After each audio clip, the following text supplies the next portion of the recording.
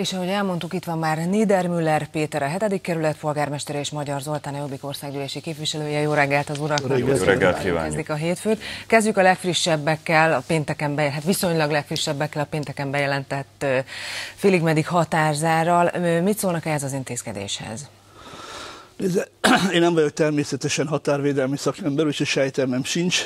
Azt hallom, nagyon sok helyen pont ide hallottam a hírekben, hogy Ausztria, Csehország és Szlovákiának a vezető politikusai azt jelentették be a hétvégén, hogy ők leges-leges legutolsó lehetőségnek tartják a határzárat.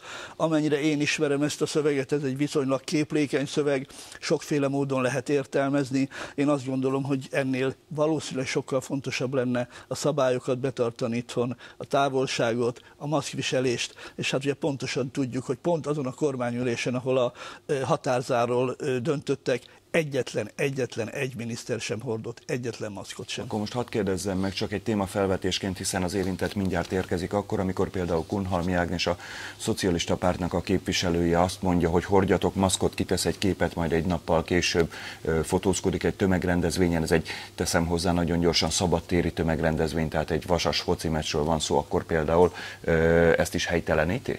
Ugye én igazán azt szeretném megkérdezni, hogy amikor például könyvfesztivál nem lehet, eh, akkor miért lehetnek futballmeccsek, és miért lehet borfesztivál. Tehát én értem ezt a dolgot, mondjuk azt lehet, hogy a képviselő asszony annyira izgult azon a mérkőzésen, hogy egy pillanatra megfeledkezett magáról, és hiabálta, hogy hajrávasas, és letépte a maszkot. Megkérdezzük ezt, ezt hogy pontosan, ez így Pontosan így, hogyha ezt az ötletet feltette, de hogyha már ezt említette, akkor ebben a társadalomban én legalábbis így érzem, ez most egy szubjektív vélemény lesz, hogy a labdarúgó mérkőzésekre vonat vonatkozó szabály vagy kimondott mondat, az gyakorlatilag egy szimbólum lett. Tehát a könnyű zenészektől a könyvfesztiválozókig mindenki azt mondja, hogy de hogy a focinak akkor még más a szabálya. Tehát, hogy másképp terjed a vírus. Ön is úgy érzi esetleg, hogy szimbólum jelkép lett ez a labdarúgó mérkőzés, hiszen ön is ezt említette most.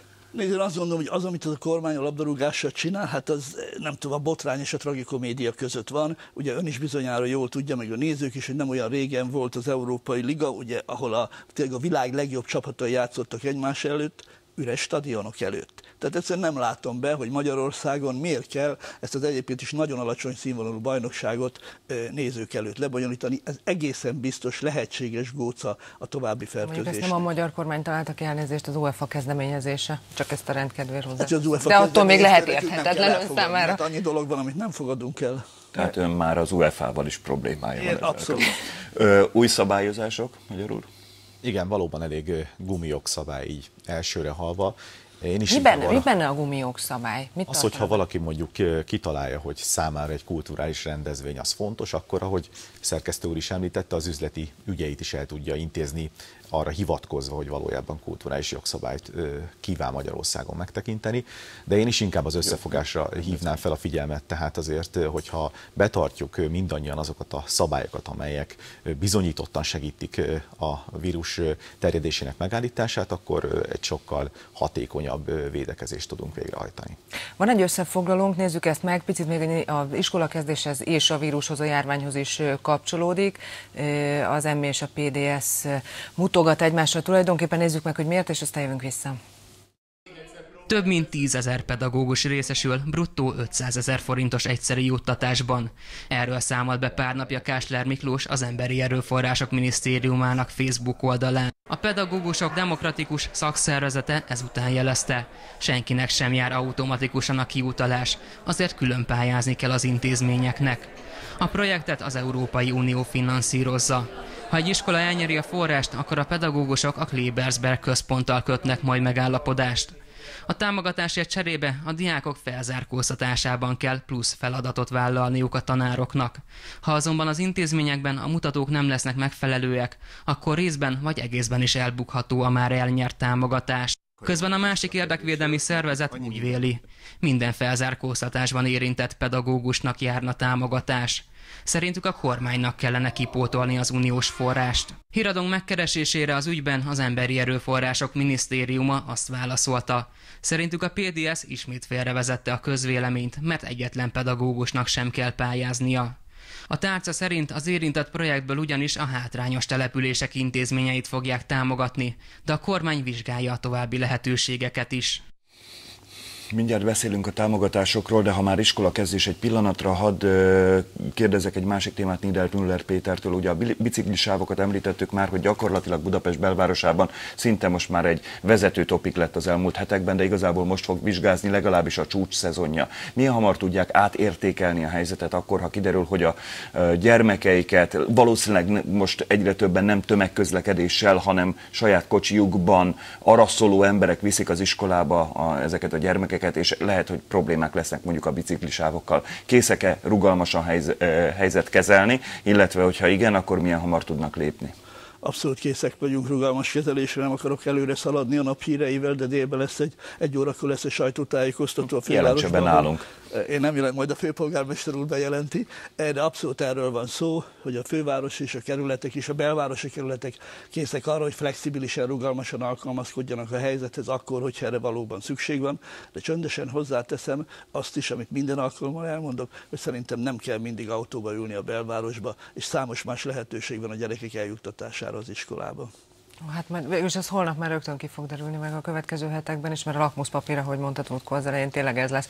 No, vissza az iskolához különleges intézkedések, betarthatók, erről már sokat beszéltünk, amiben az összefoglalóban szó volt, vagy amiről szó volt, ez a bizonyos 500 ezer forint. Mit gondolnak? Ugye van itt a PDS, azt mondja, a PDS pályázni kell, nem világos, az emi azt mondja, hogy minden világos, nem kell. Hát igen, én is csak a hírekből tájékozottam ezzel kapcsolatban, úgyhogy valóban elég zavaros a kép, de sajnos az elmondható általában az oktatás egész, egészére, és hát az iskola kezdése most szeptemberben. Annyi a kérdés, hogy nem csodálom, hogy akár még a PDS-nél is komoly vitákat generál ez a, a különböző állami szervekkel szemben. Mi úgy gondoljuk, hogy a többlettámogatás mindenképpen jár minden az ágazatban dolgozó számára. Ugye van olyan iskola, aki már bejelentette, hogy átáll digitális oktatásra, ugye van digitális hibrid, vagy pedig in-person, tehát bent az iskolában, ez egy angol kifejezés, ahogy használják, tehát hogy a diákok bent az órán.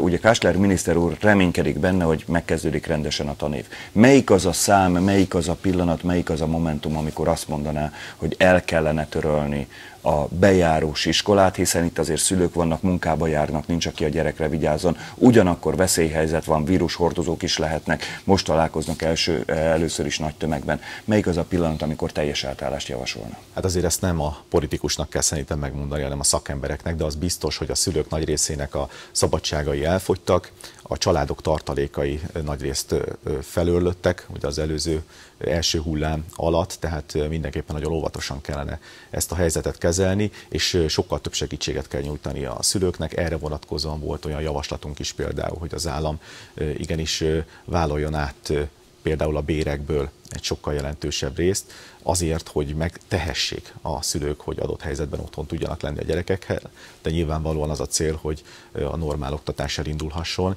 és ezért is hangsúlyoztam azt, hogy oda kell figyelni egymásra, oda kell figyelni azokra a praktikákra, legyen az maszk, vagy távolságtartás, vagy éppen a távoktatás fejlesztése, ami lehetővé teszi azt, hogy kisebb legyen a vírus veszély. Hogy az iskoláknál a klik vagy az EMI dönt, az óvodák esetében az önkormányzatok dönthetnek-e úgy? Tehát, hogyha mondjuk találnak tehát ugye Kástar Miklós arról beszélt, hogy valószínűleg nem úgy lesz digitális oktatás, mint tavasszal, hanem hogyha lesz fertőzött egy-egy iskolában, akkor esetleg egy osztály kerül át otthonra, vagy egy iskolát zárnak be, de nem ám blokk az egészet.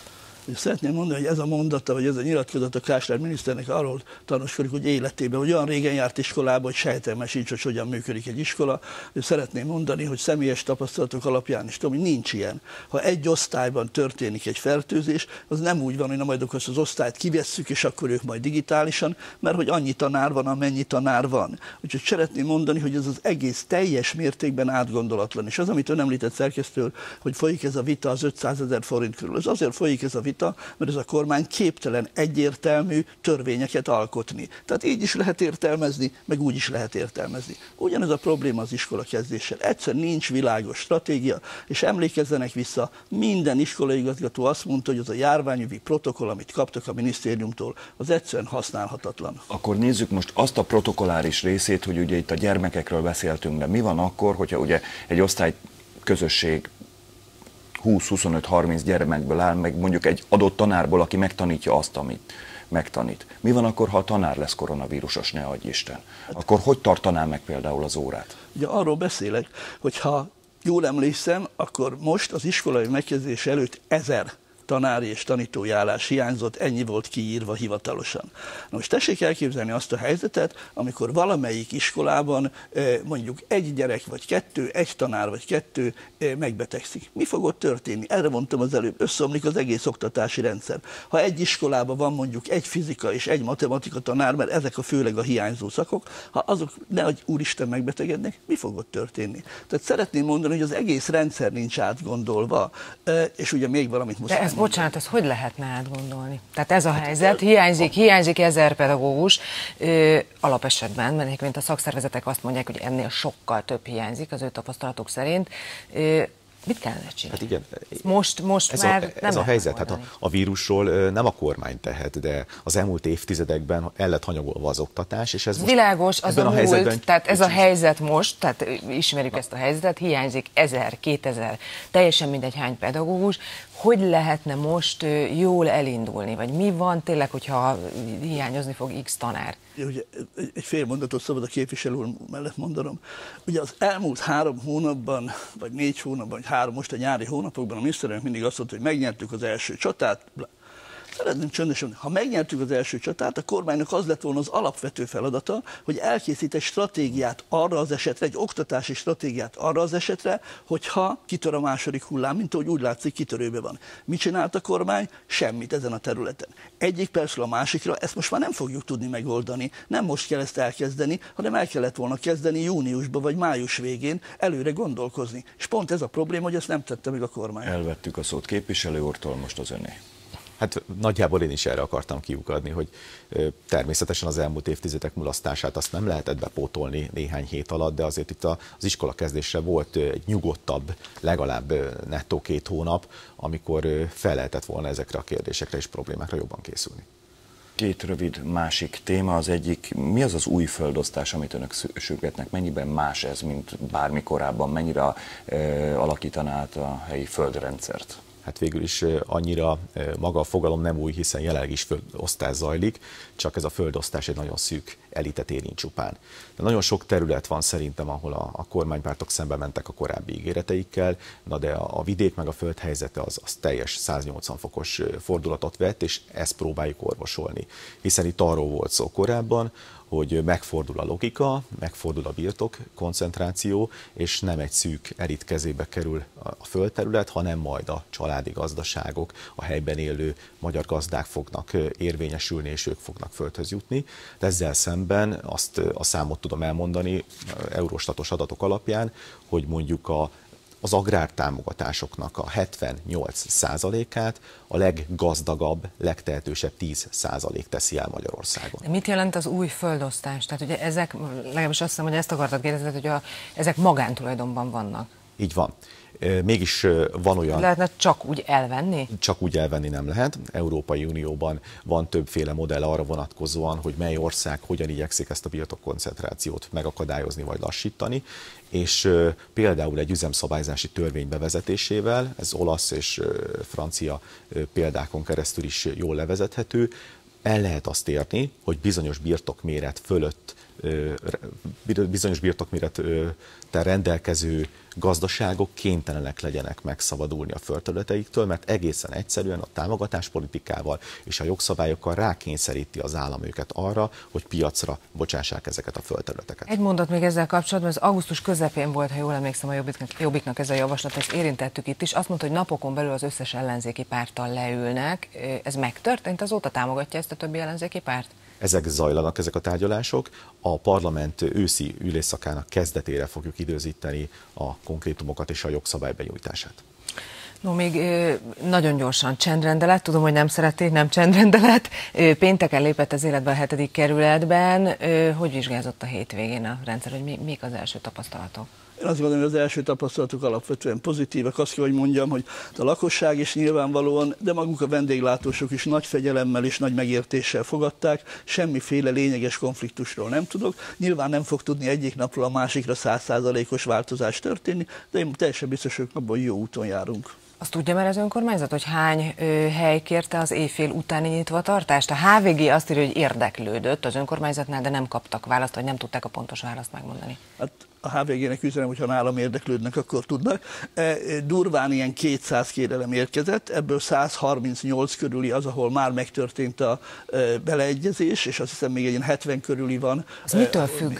Tehát mitől függ, hogy valaki kap? Semmi az automatizmus. Aki a kritériumoknak megfelel, az automatikusan megkapja. Mindössze annyi van, hogy meg kell nézni, hogy valóban a kritériumnak megfelel az a hely, és akkor automatikusan megkapja az engedélyt. És akkor egy zárszó még Magyar úrhoz, ugye önök indítják Bíró Lászlót, nem indíthatják úgy, hogy az ellenzék közösen indítja a súlyos antiszemita kijelentéseket és más kijelentéseket is tett képviselő jelöltjüket, illetve most már az ellenzék jelöltjét.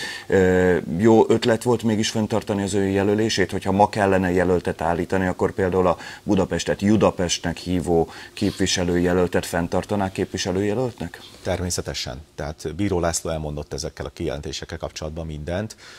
Régi kijelentésekről van szó, bocsánatot kért, értük, azt hiszem, hogy ez a magyar közéletben mindenképpen egy előremutató és pozitív dolog, bárcsak mindenki így tenne ezzel kapcsolatban. Ettől függetlenül pedig Bíró László szerintem a legalkalmasabb jelölt arra, hogy ezt a választókerületet, a Tiszaújvárosi választókerületet a parlamentben képviselje, és hát a Jobbik valóban gyakorlatilag a kormánypártok nyomás gyakorlása eredményeként nem fog tudni ott lenni mögötte a szavazólapon a Jobbik logója, de természetesen aktivisták százaival segítjük az ő győzelmét, ez, ezekben a, a napokban is már folyamatos. Köszönjük szépen. Minden időnk lejárt, köszönjük szépen. Köszönjük szépen.